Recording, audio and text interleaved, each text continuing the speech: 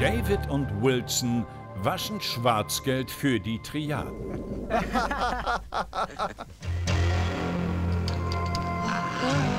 Doch dann lässt Wilson den Geldlieferanten überfallen und will mit der Kohle durchbrennen.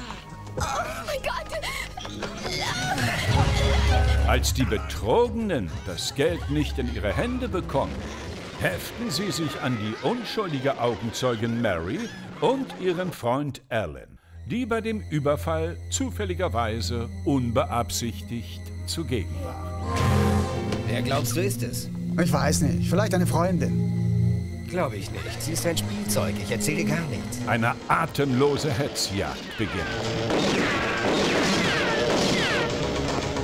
Hongkong-Action aus der Tiger Cage-Serie aus dem Jahre 1990 von Regisseur Yuen Wu Ping mit Carol Cheng, David Wu und Donnie Jen in den Hauptrollen. Hey, dreh dich doch noch mal um, ne?